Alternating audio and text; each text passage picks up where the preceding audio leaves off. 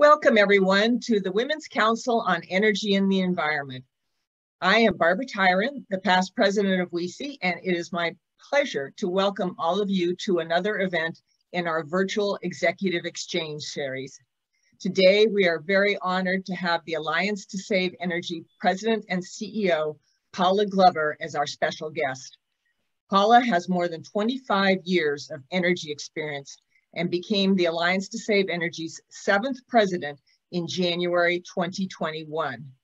Prior to that, she was president and CEO of the American Association of Blacks in Energy, AABE, which is a nonprofit professional association whose focus is to ensure that African Americans and other minorities have input into the development of energy policy, regulations, and environmental issues.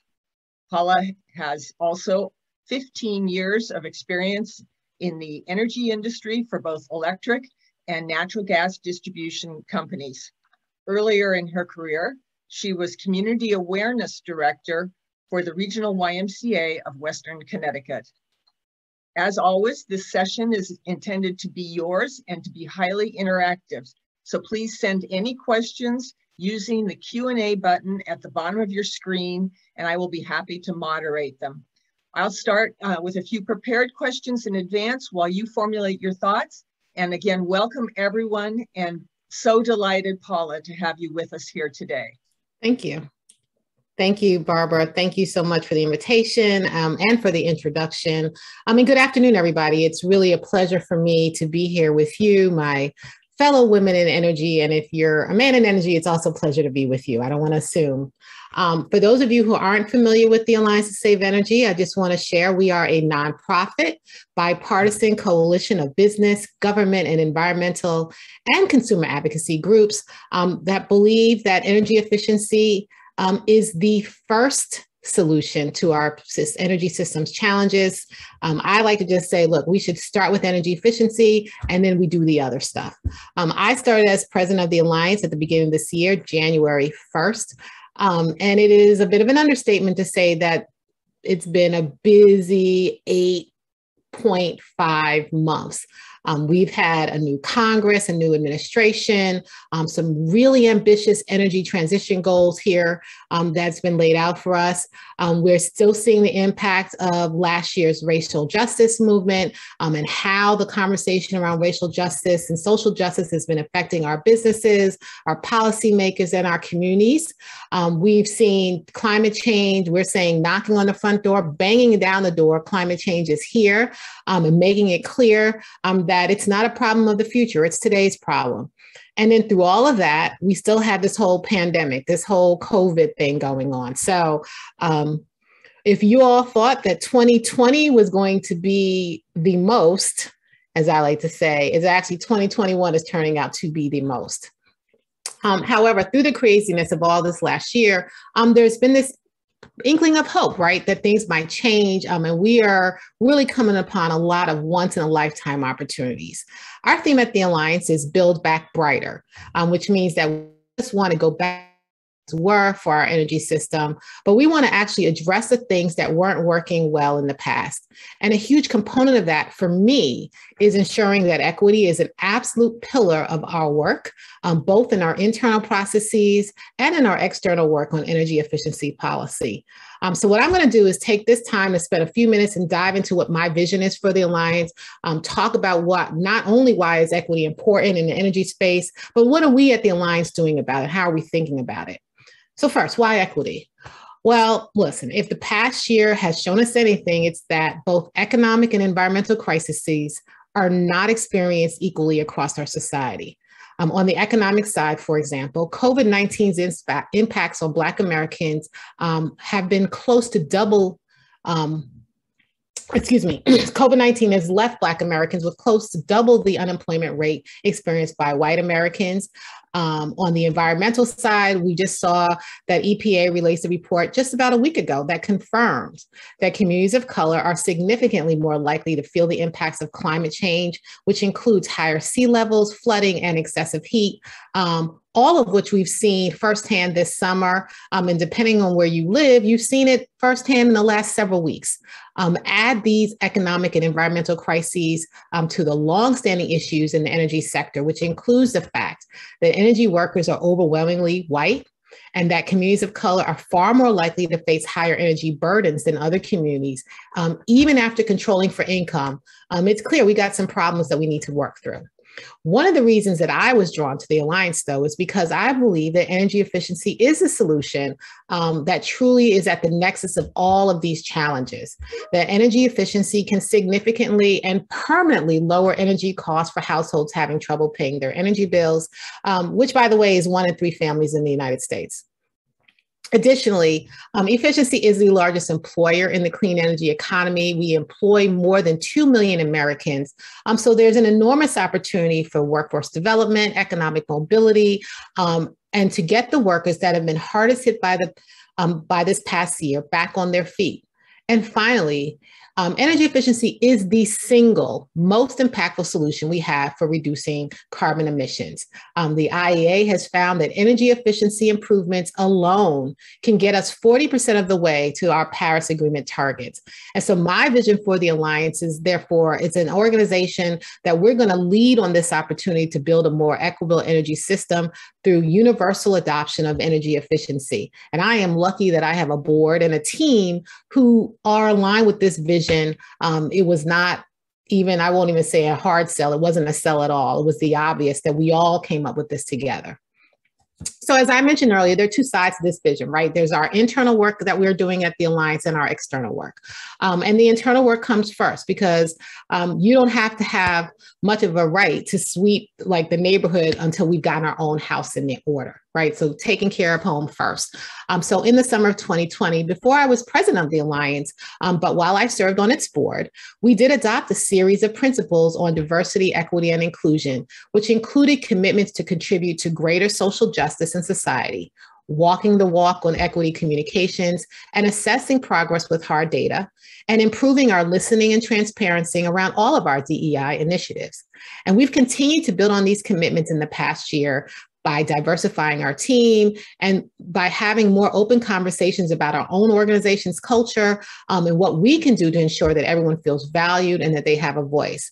Um, so there's not like a check it off the list project, um, but this is a continuous process of listening, learning, acting, and then checking back in. And it involves all of us. And I um, am pleased to say that we're all committed to the work externally as an organization, what works primarily on um, we work primarily on federal policy. Um, so I'm always want to make sure and ensure that equity is baked into that work. Um, as I mentioned, I believe that universal adoption of energy efficiency is the first solution for a more equitable energy system. Um, but there are many barriers that we're going to have to overcome to get to universal adoption universal adoption is going to require a targeted policy approach to ensure um, that programs truly are reaching the underserved communities who need them most. Um, an example of this within the, uh, the, Alliance's policy work is the Main Street Efficiency Act, um, a piece of legislation that we're thrilled to see introduced introduced in Congress last month by Congressman Peter Welch and Senator Catherine Cortez Masto. Um, the Main Street Efficiency Act is a piece of legislation that would provide low or no cost energy efficiency upgrades to small businesses across the country to ease their energy burdens. Um, it would allow them to invest in their workforce and decarbonize their facilities. Um, many small businesses struggle to access the credit and capital needed to make efficiency upgrades. Um, and this is particularly true for minority owned small businesses, um, which can face all kinds of other systemic problems and discrimination. Additionally, um, the numbers show that minority owned businesses were the hardest hit by COVID 19's impacts. No shock there. Um, therefore, we believe that the Main Street Efficiency Act had to be designed to reach these underserved communities. And as introduced, um, the legislation really prioritizes funding for diverse business owners, as well as diverse contractors who work to get the upgrades done. I think it's a highly innovative approach, helping small businesses lift up other small businesses. Um, and we are working around the clock. My team is at the Alliance to ensure um, that this legislation will pass into law. But Main Street is just one example. Um, I'm striving for the Alliance to think carefully about the impacts of all the policies that we engage in. Um, it means that we have to think about who it benefits and who it doesn't benefit um, what we can do to direct benefits when they're needed most, and what we can do to actually follow through once a bill becomes a law to ensure it accomplishes exactly what it was set out to do. And I would argue that these are important considerations for everyone in the energy and environmental space to really think about carefully. So I'm excited to take some questions from Barbara. Um, but to wrap up, I just want to reiterate that our current moment, um, while it is full of a lot of uncertainty, really calls for big ideas and bold vision. Um, and we've moved past the time for quick fixes. For quick fixes. Um, it's really time to look at our roots and what's wrong with our energy system, economically, environmentally, and equitably. And we need to implement solutions that are going to build a brighter energy future for all. It's why I've been committed to this industry and this work for as long as I have. Um, and I know that this requires internal reflection at our organizations. Um, it requires a deep look at the on the ground impacts of our external work. Um, and it's certainly hard work, but that work is beyond what's needed right now. Um, I'm ready to get with it. I know you all are too. And so I appreciate your time and look forward to our discussion. Thanks. Great. Thank you so much, Paula. Really appreciate you taking the time to lay out that inspiring vision for the Alliance to Save Energy. And, and thank you for your leadership with that organization and in that entire community. Thank you. Um, as Paula mentioned, we're, we're eagerly awaiting questions from our audience. So please do not hesitate to put them into uh, the box at the bottom of your screen, the Q&A box, so that we can begin to have uh, a dialogue here with all of you. And thank you everybody in the audience for being a part of today. Um, I will go ahead and ask a question or two while you all are thinking of where what you would like to ask Paula Glover here. So Paula, um, would you say that buildings are the next target of opportunity for energy, uh, energy efficiency, or do you see multiple pathways going forward? Yeah, I would say um, buildings should be a priority, but they're not the only pathway. But buildings are absolutely the building envelope, um, both commercial buildings as well as residential buildings, is a really important nut for us to crack if we're going to try to meet our decarbonization goals. And so at the Alliance, we think about public buildings and we're supporting Open Back Better, um, which is a bill sponsored by um, Congresswoman um, Lisa Blunt Rochester and Senator Tina Smith, which would really direct about $22 billion to public buildings, federal, state, and local, so that they could adopt efficiency measures. Um, and I do think that this bill passing creates an opportunity for us not only to have broad adoption of energy energy efficiency in our buildings, but to also increase resiliency in our communities. Um, and again, create a space that can allow us to be a little bit creative about we, how we can engage our communities in our energy system. Um, but then we also need to think about our homes um, and our apartment buildings. Um, and that's probably even a little bit more difficult, right? Where we have to meet people where they are. People are starting in different places. But what we know is that the programs that we have in place, um, as wonderful as they are, are not enough um, that we have housing stock that is incredibly old, um, that we have individuals who are living in homes um, that are probably substandard, that just need insulation, windows, and doors. Um, they need the basics. Um, and then we have homes that need other kinds of technology. And as uh, energy efficiency shifts and changes and we become more digitized, um, it's increasingly going to be more important that we create space so that these new technologies, efficiency technologies, can be adopted by all households. Um, but that starts with a strong foundational building envelope. Um, and so buildings is a big chunk of it. But the other piece I would say um, is transportation. Um, and so, to the extent that we can ensure that efficiency is part of the transportation conversation, that includes um, things like CAFE state standards for our liquid fuel vehicles. But also, as we're thinking about electrifying transportation, um, we need to be thinking about where are we putting charging station infrastructure? Are we creating space so that all um, individuals have access to that infrastructure? Do we have um, existing infrastructure that can adopt additional charging load? All of those things really matter. Um, and I think are going to play a big part, not only in our ability to address climate change, but more importantly, it is a role that we in efficiency um, can play and should play um, to do the right thing and get us where we need to be as a country. I like your characterization of energy efficiency as our first fuel. And and its application to um, both buildings and to the transportation sector.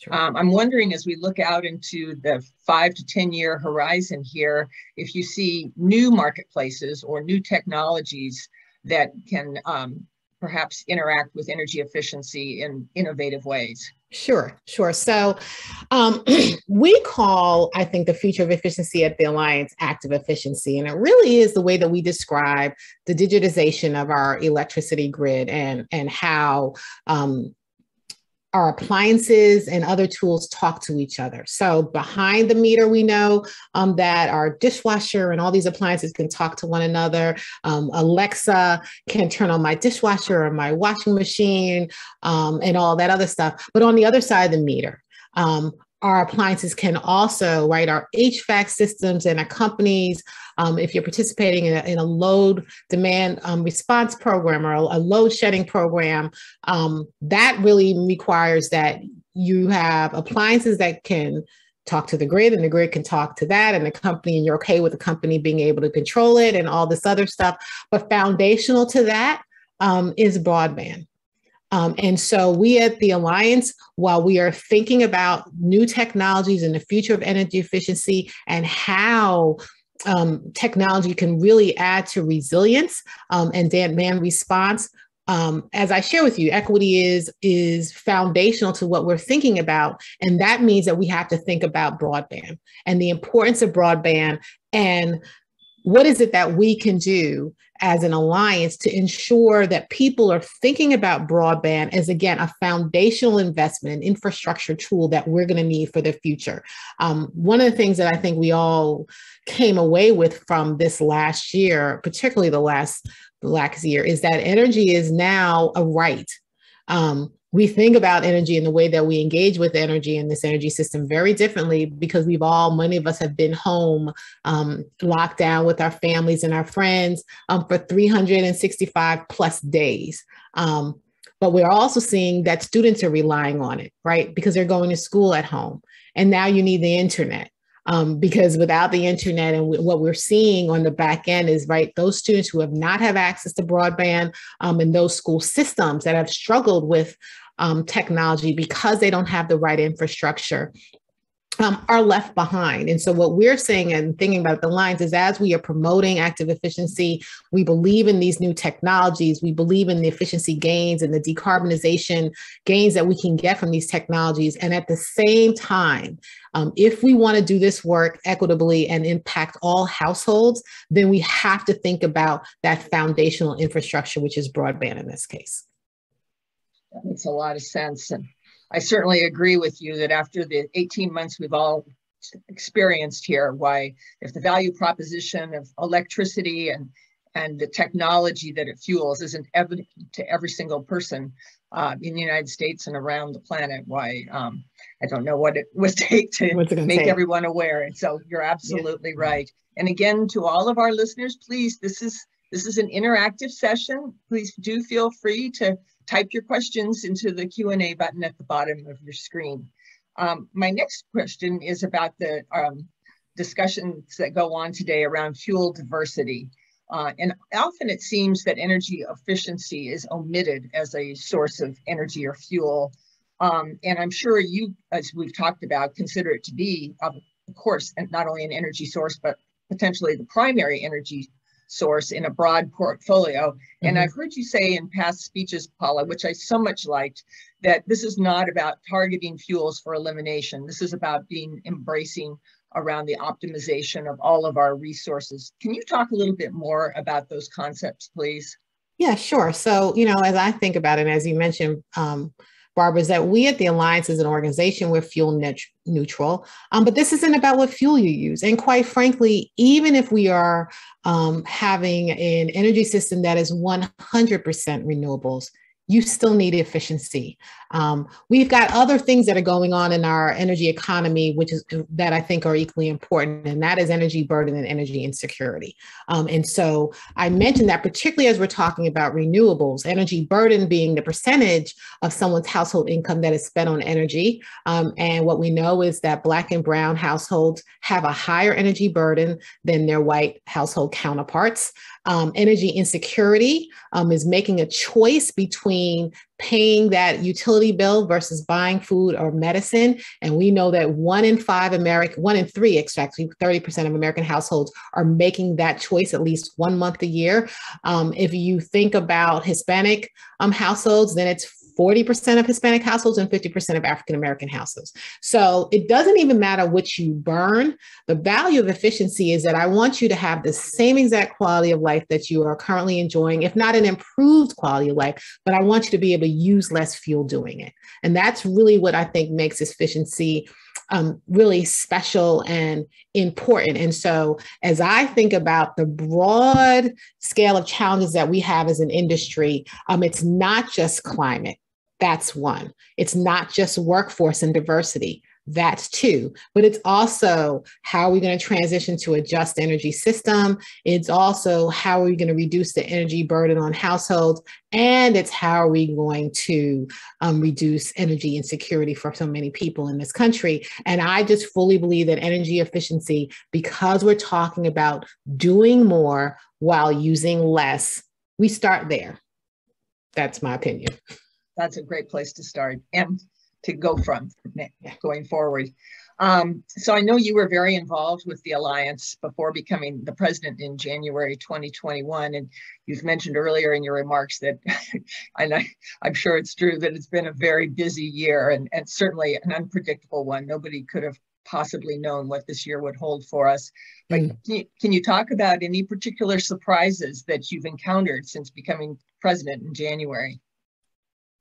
Um, nothing, I don't know that I'm particularly surprised. I think what I've probably been most surprised by, and I think my my collective team might agree with this, is that doing everything during a pandemic um, layers on challenges and none of us really would have considered. So I started a new job in a pandemic. I've had members of my team who started new jobs in the pandemic. I have members of my team who I have never met.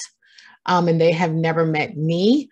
Um, and so we are all at home. And when I say, and, and I I say this in with all purpose and meaning. I believe that my team is exceptional at what they do every last member of my team is exceptional.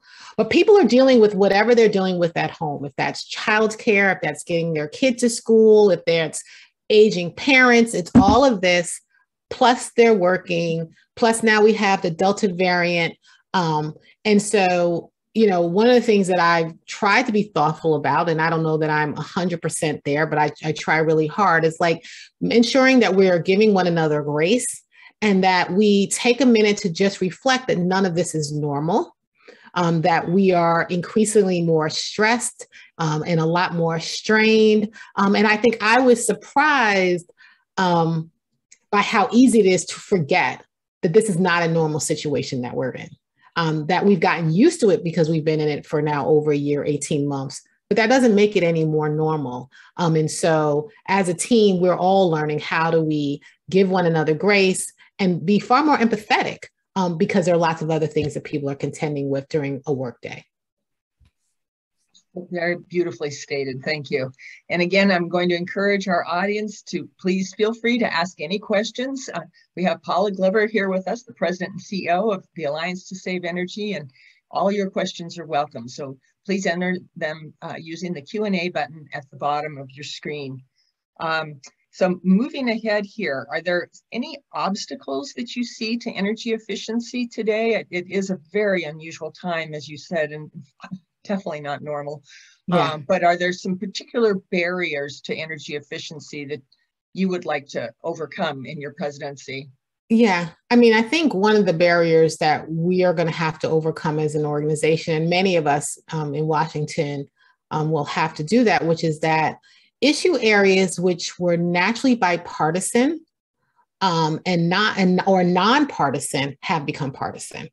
Um, and so it's the messaging is important, like what you're saying um, and who you're talking to, and how are you making a case or an argument for what you believe is important so that it resonates with the person that you're speaking to. How do you make it important to them?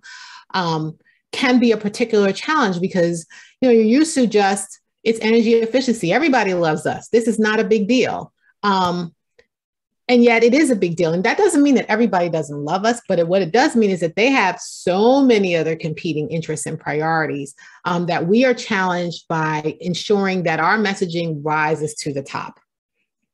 Um, and making a case for why what we what we're advocating for and what we that it's important and it, and it should take a priority. Um, so that's one big challenge. Um, and then the other really huge challenge i think for us as efficiency is how um, as we think about our colleagues in the broader energy sector and particularly even the clean energy sector how do we ensure that they are also thinking about efficiency as an important tool in their toolbox and that we are not something that people just kind of skip over um, because we're talking about using nothing. I'm not talking about oil, burning oil or gas. I'm not turn, talking about hydro. I'm talking about using nothing. And so, how do you um, create some excitement around that as we're talking about this transitional energy period? Good, thank you. So in addition to everyone um, struggling with the pandemic as, as human beings, why we're also seeing some of the institutions and organizations in our society changing as well. Uh, and we've certainly seen um, uh, pol politics and divisiveness creep in, in and between um, institutions. Uh, within the energy sector, we've seen the arrival of new organizations and, and in some places the merger of organizations. Um, can you talk a little bit about how you work with similar organizations to the Alliance to Save Energy and how you think coming out of COVID, whenever that is, how, how that, those relationships might change or evolve? So, you know, that's a great question, Barbara. I, I came into this role always thinking about collaboration and partnership, no matter, you know, I, I don't think of other organizations as competitors even if they're in the same space and have some of the same kind of work that they're doing. Um, we at the Alliance are a, coalition, and I think we're a really strong coalition, um, but that does not mean that there's not room for partnership and collaboration. I think that there is. Um, but I would also say that, you know, my entire approach um, to problem solving is what might be described as systems thinking, which means that I'm always looking at all the other interconnection points of a problem, not just the problem. Um, and so a, a simple example would be as we think about um, diversity, DEI, as it relates to workforce. Um, we'll talk a lot about like how do you identify diverse candidates where should I be recruiting people from? Um, how do we get into particular school systems? You know, like this messaging around how do you get students um, thinking about a career in energy? Um, I would stretch that to say, okay, but in certain communities, we do have to think about um, the public education system um, or students who can read. Um, and and because all that stuff is connected um, and so not every problem is ours to solve. Um, but I do think it's important to be aware of the problem so that you can foresee the challenges that may exist, or because then you're able to identify some other unique partnerships who um, partners who may also be interested in what you're doing and may not know that there's a direct correlation. Um, and yet through that partnership, they will see they could see some value, um, and you can see some value. So I just think partnering is really important and particularly as, as you mentioned as we're seeing that um, large organizations um, are being created like you know the clean power association um, which was AWEA and some others um, but all of us i mean i'm very pleased i think all of us who run these organizations are more than just friendly with one another. And we all, I think, have a perspective of, okay, how can I work with you? Um, ACPA? How can I work with you, SEIA? How can I work with you, ACORE? How can I work with you, API or EEI or AGA? Um, are there places where we intersect? Um, are there opportunities for us to do some good stuff together? Um, and I would expect that to continue um, you know, when COVID and this pandemic is over, if for no other reason, because I think whether your organization is large or small, what the divisiveness that we're seeing in society writ large, I think is compelling us as individual leaders to really lean in on partnership and collaboration. Um, but not to increase that divisiveness, but instead figure out the counter to that is okay, how do I partner and collaborate, particularly with those that I may disagree with? um, because good work can happen there.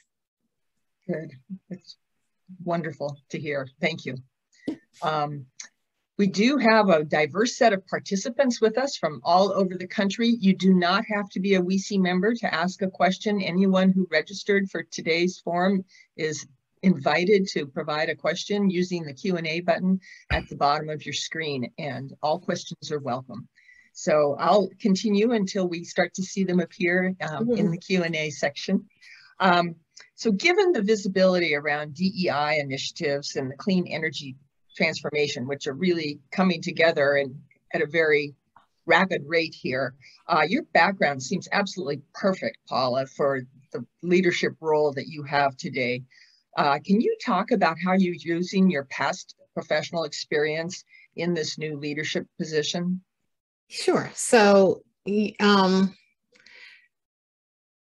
I'm going to be completely frank. Please. Um, I will tell you that for me, what kept me in this industry as long as it has kept me really was this equity component. Um, you know, I think as a young professional, when I started to learn what energy insecurity was, that wasn't the term that was used, but when I understood that as a Black American, um, my community did engage with our energy system differently than other communities. That kept me super duper interested and then really helped me um, to continue to think about what are those intersect, those connection points, right? Um, and so over the course of time, I think you get less fear, you get more fearless about like speaking truth to power, calling a thing a thing, um, being comfortable with saying like, hey, you know, um, as a woman, this is how I experience this corporate environment because this is what people say to me, not thinking, maybe thinking, maybe being insensitive, whatever that is.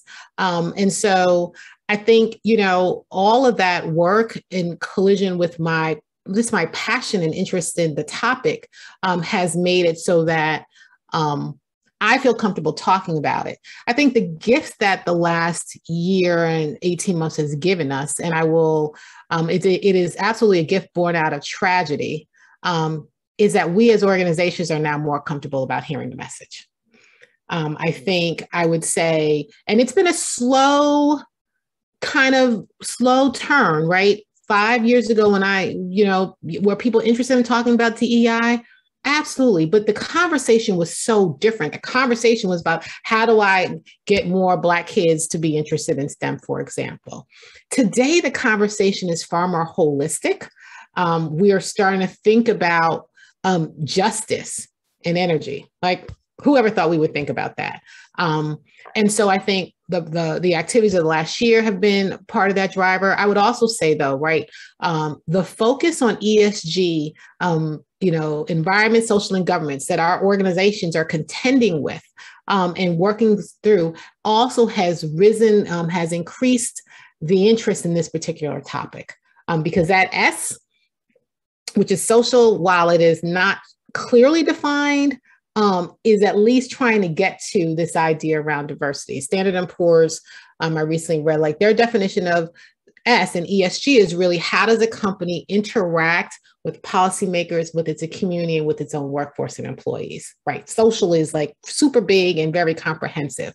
Um, and so in that space, you're finding more organizations who are really looking at their numbers um, and trying to figure out what kind of commitments they can and want to make. And that has that's somewhat to do with hires, but that's also how do we spend our money? What are the companies and the businesses that we spend our money with? Are we looking at diverse suppliers? And this is all things that people have always known. There have been tons of studies and reports of um, how much more money you can make by having a diverse board, by having a by working with diverse suppliers. Um, I just I feel like the last 18 months, it's all kind of bubbled up to the top, and everyone is saying, wow, we just if we don't deal with it now, we're never going to deal with it. Hmm. Um, and I feel lucky that I get to be in the middle of all of this stuff. Like it's it's it's you know it's fun. It's a lot, but it's fun. I enjoy it. That's great. That's great. Well, we're glad you're involved in all of it as well. We've talked a lot about what's happening here in the United States, um, but I know the Alliance has members from other parts of the world, and you've had events and forums in, in uh, other parts of the world over the years. Can you talk about any, any activities in the international arena or any vision that you have? Um, is it the same for what you described in the United States, or do you see a different role for the Alliance overseas? So I will tell you, like transparently, I, I, don't know that I have a vision for our international activities, and we have pulled back partially because of COVID. Um, we have pulled back a little bit on international activities, and my um, colleague Lisa Jacobson, who runs the the Business Council for Sustainable in, in Energy, she's actually come up. So this question is probably better better for Lisa than it would be for me. Um, you know, I think for us at the Alliance, we're clearly paying attention to what international trends are, and that helps inform how we think about things here um, in the States. But we have stepped back a little bit from our international activity. Um, and so I don't, I don't, I wish I did have a vision for it, but I'd be, anything I tell you would be me making it up on the spot. I really, I don't, I apologize. No, that's okay. I was just curious. yeah, yeah, no, that's fine. Yeah, absolutely. Um, and that's good to know that um, Business Council for Sustainable Energy is involved in this arena too. So, uh, yeah, as as you said, this is a collaborative effort. Everybody can't Absolutely. be everywhere, so it's nice right. to know that resources are being optimized across the sure. entire sector. Um, one last call. We do. We are um, over 30 minutes into our session here with Paula Glover, the president and CEO of the Alliance to Save Energy. So, if anybody has any thoughts they'd like to ask her or anything you'd like to share as a comment or uh, uh, regarding her remarks or the work of the Alliance or, or anything relative to the topics we have discussed together, please do feel free to enter it into the Q&A at the bottom of your screen. So I know we have, um, usually in, WCEE events like this, Paula, we have early to mid-career um, women some and men sometimes uh, who are seeking professional advice. Uh, so can I ask you, as a very successful example of leadership within the energy sector, is there any advice that you'd like to offer um, those who are early to mid career regarding how to enter the energy uh, field, uh, how to become successful in it, or any overall tips that you'd like to share?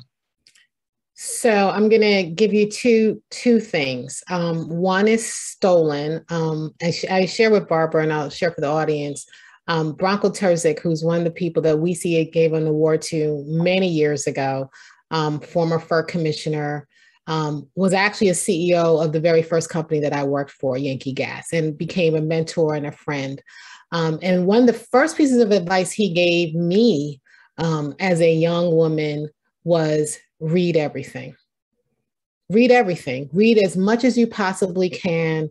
Um, business journals, newspapers, People magazine if you want.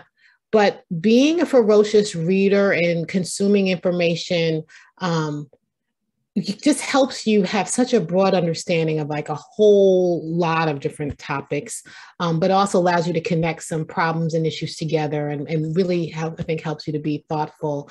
And I always, I think that was just the best advice I've ever gotten. And, and I do it all the time. Um, akin to that is, listen, I would say, um, hold on to your level of curiosity. Be curious, be curious about things ask questions um, you know, doing all that. But for young women and well, for young people in generally, you know, and I and I have uh, four children, and, and I say this to them, and they're in the workforce. It's like every fight is not worth having. Ha- is not worth having. Um, every slight is not always directed towards you. Um, and we always have to remember that our workplaces are a microcosm of our society at large the good and the bad, the things we agree upon, and the things that we disagree upon. Um, but at the end of the day, there's something that you can learn from everybody. And so if you think about that in terms of how you engage with people and having an endless curiosity, um, you'll be surprised at how much you get from that um, just by asking questions and, and just trying and, and understanding that every single person that you will run into, no matter what their job is, has something to contribute. Everybody does, right? And it is for us, um, if we are leaders, aspiring leaders, or don't even want to be leaders, it is, it is our job and our duty to recognize that and treat people with that level of dignity and respect. Lovely. Thank you very much. Thank you for sharing those thoughts. Um, as we see the advances around electrification across the society, um, do you see any paradoxes with energy efficiency and electrification? Do you think that uh, because electricity can't be seen, as it were, that um, perhaps that'll impact uh, concepts around energy efficiency or consumer awareness of energy efficiency? Um, so I'm not sure that it will affect consumer awareness. I actually think electrification probably makes people a little bit more aware about electricity and creates an opportunity for them to be more aware about efficiency. Um, I would suggest, though, that even as we're moving towards electrification, if that's what as a society we're going to do, we have got to keep affordability at top of mind. Um, we just have to. I mean, it, it, energy is not affordable for a lot of people now. And electrification, what I, I don't want to see us do is use electrification as a tool to solve one problem while at the same time creating another. And so the beauty about technology um, is that sometimes it lets you leapfrog stuff. Um, and we don't know what the right right what the right right response is going to be or ultimately um, in 2030 2040 2050 what our energy system will look like um, but what i'm hoping is that as we're thinking about it today um, we're not writing off new technologies because we've just decided that we don't want them carbon capture could be something that's incredible. Green hydrogen is could be another really big opportunity. And so, um, talking about electrification and having electrification as a focus is important. Making electrification the only focus, I think, is not going to serve us well. So there's a lot of talk today about the ongoing energy transformation. And as you know, Paula, and, and many in our audience do as well, this has been building up momentum over, over many, many years. This is certainly not something that's brand new. Um, would you say at this point, as we see the technology changing and the convergence of electricity, gas, water, broadband, telecom, all coming together um, uh, and sharing similar concerns and opportunities, that this energy transformation is inevitable at this point? Yes, something's going to happen.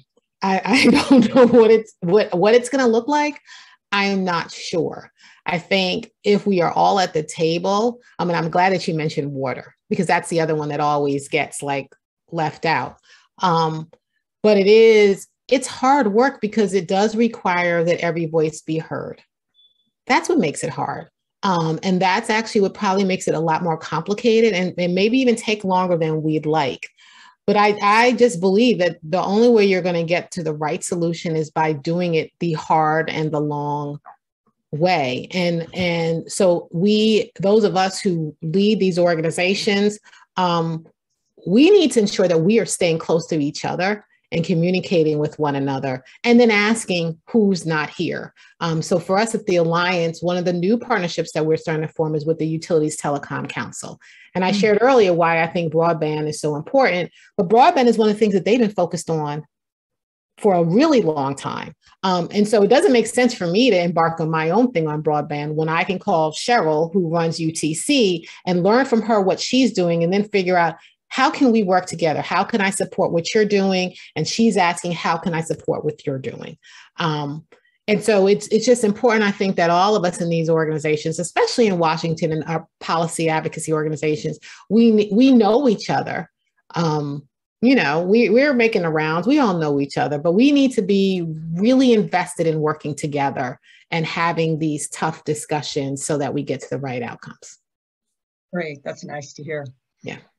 So as, uh, as the president of an organization with, um, as you said, many exceptional staff, all exceptional, but, but a big staff, um, have you learned anything um, during this public health crisis, um, either in, just from your own readings and discussions or, or from these other uh, colleagues at other associations that you think translate into best practices going forward in 2022 and beyond?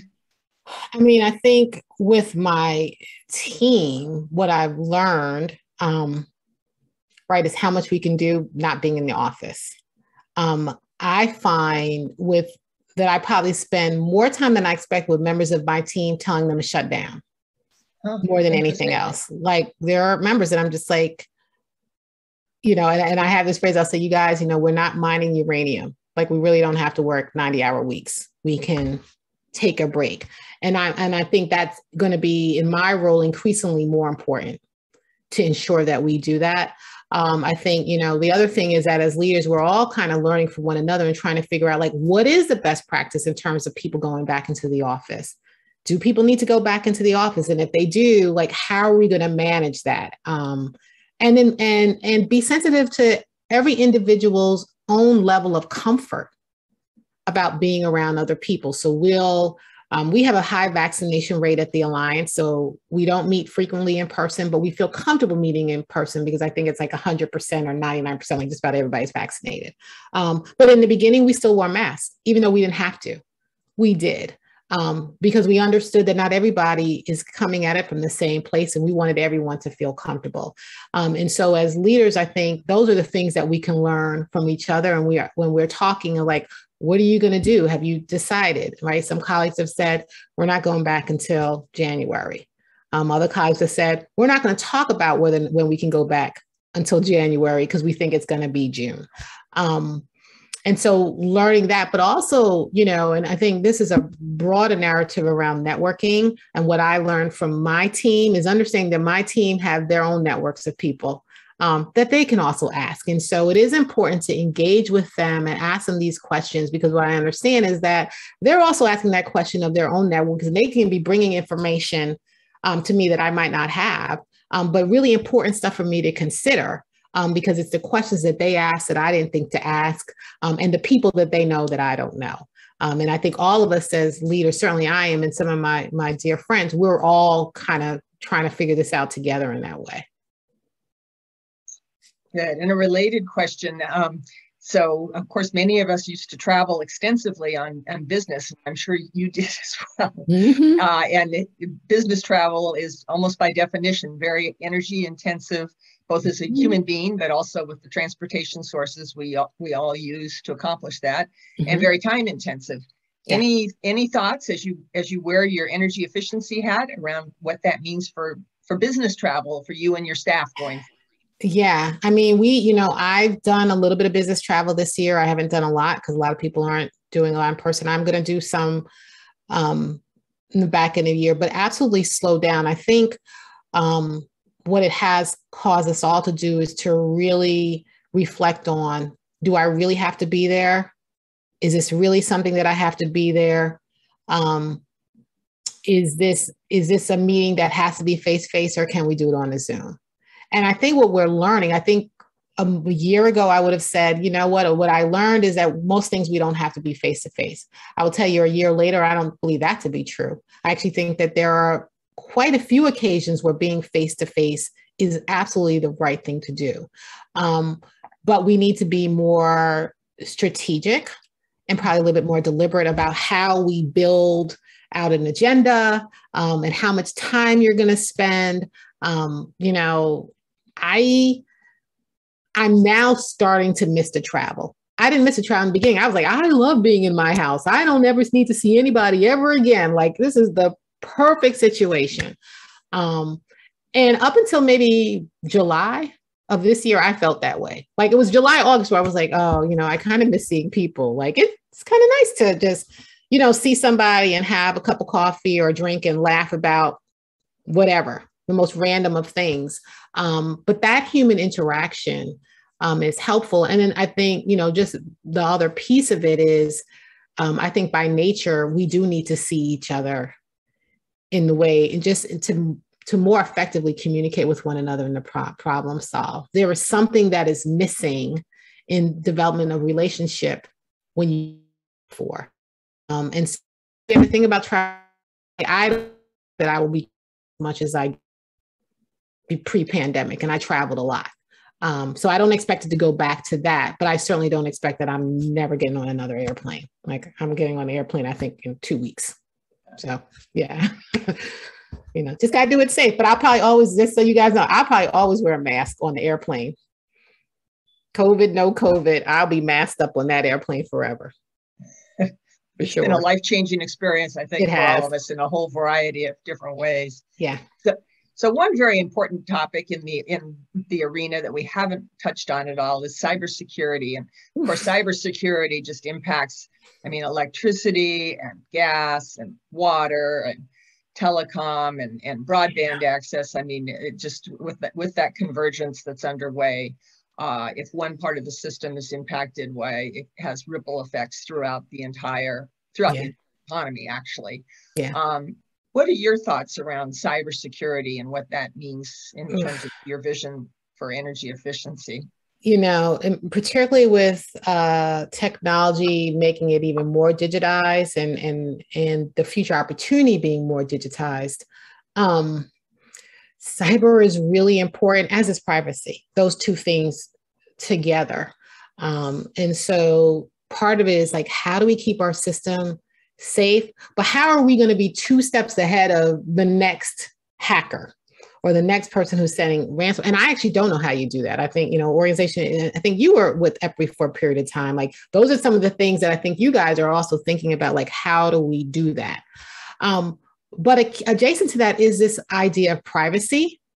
Um, and so customer privacy, I would think for our regulators becomes really important. Who, who has the data? Who owns the data how can they use that data what can that data be used for? Um, i would contend though that for many of us we don't really have the level of privacy that we think we have. Um, that's kind of right that that cloudy thing. And, and the example i use for you barbara is uh, last week my husband and i um, brought my son to school in New Hampshire. We were flying home. And as I was standing in line at TSA, there was a little sign that tells you that they no longer need your boarding passes at TSA. They just need your license. And when they scan your driver's license, they know what flight you're supposed to be on. And they know where you're going just from that. And I remember looking at this sign and saying, like, wait, what? Like, I didn't know that that was what that was. Um, and then I got to line. I said, gentlemen, do you need my boarding pass? He said, no scan my life. Okay, have a good trip to so and so. And I was just kind of like, you know, so this idea of privacy, it's tricky. We give away so much of our information and we don't know it. Um, and yet we're we're allowing lots of people to collect our inf- information from those people who do genealogy, you know, ancestry.com and giving away all your medical history to 23andMe and these guys because they are collecting your information when you submit your DNA. Anybody who doesn't know that, they are. Um, but those people who, you know, as we're thinking about technology in the future, our regulators really do have to contend with all these questions. Um, and then and and at the same time figure out like how do you do this in a way that doesn't give somebody a competitive advantage particularly as it relates to energy efficiency and who's allowed to provide efficiency programs um, and who's managing that and who controls the money and and how do we measure it and all of this stuff so cyber that's just, you know, it's really about how are we going to stay two steps ahead mm-hmm. and then mm-hmm. manage risk. I would say a lot of cyber is also managing risk because there's so much risk, but um, so how do you manage that in a way that's effective? And then what's your backstop so that we don't have, for example, another colonial pipeline right? Where one portion has no, you know, gasoline prices are through the roof because there's no gasoline. And I'm, you know, we have aging infrastructure. I think that's why this point in Washington, this time in Washington is so really important. And the work that our members are doing is important. And if they get it right, um, because our infrastructure is already aging. Um, and it's already really easy for some hackers to kind of get into our systems. And so imagine if we all had smart meters. Um, or as my husband and I, I've been bugging my husband because I want to I want an EV and I I love to get a Tesla. And the only thing that like the thing that makes me think twice about it is like, but imagine if somebody hacked into Tesla and they were able to turn off your car or control your vehicle while you were like autopilot. So you know, cyber. Um, if we can imagine it, somebody has already figured out how to do it, right? And so, how do you take two steps ahead of that? So one of the important tools in the energy efficiency toolbox is demand response, which has similar exactly. characteristics associated. any, any thoughts around demand response? And I mean, I think demand response is a really important tool. And so it's not, I mean, even with the concerns around cyber, it is not to say that we shouldn't do it, because I actually think we should do it. I think we should be aware, aware, aware and figure out how we manage our risk. Um, but these are tools that we actually need. Um, demand response being a really great tool um, because without it, we're just going to keep building more stuff. Like that's not a sustainable future. We've got to figure out another way um, to do what we need to do. Um, to use, you know, and our and the amount of energy that we need is increasing because we have so much stuff we wanted for. Um, and I don't know how you get there without demand response. Um, but we still got to contend with all the other stuff that goes along with it.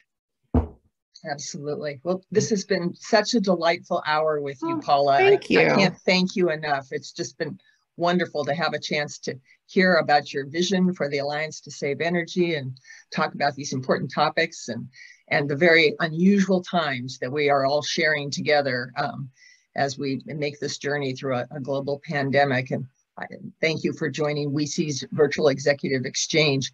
I want to thank Robin Robinson on the WCEE staff who's Robin. helped makes this all happen. Robin, we could not do this without you. Thank you so much for all of the skills and talents you bring to WECC.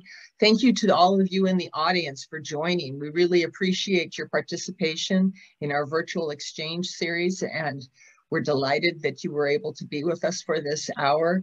And thank you to Paula Glover, President and CEO of the Alliance to Save Energy for this incredibly wonderful discussion and very informative time together. Paula, thank you especially for being with us and thank best you. wishes to you in your new role.